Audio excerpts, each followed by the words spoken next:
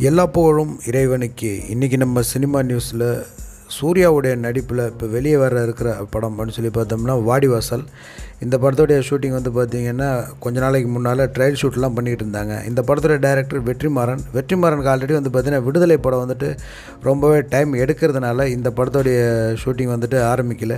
இதுக்கு பிறகு வந்துட்டு பார்த்திங்கன்னா சூர்யா வந்துட்டு சிவாவுடைய படத்தை ஸ்டார்ட் பண்ணி அது ஒரு பக்கம் ப்ராசஸ் போய்கிட்டு இருக்குது இன்னொரு பக்கம் வந்து பார்த்திங்கன்னா வணங்கான் நம்ம பாலாவுடைய படம் அதுவும் ஒரு பக்கம் ப்ராசஸில் இருக்குது இந்த வாடிவாசல் வந்துட்டு பார்த்திங்கன்னா நம்ம கலைப்புலி எஸ் தானு இவர் தான் இந்த படத்தை தயாரிக்கிறாரு.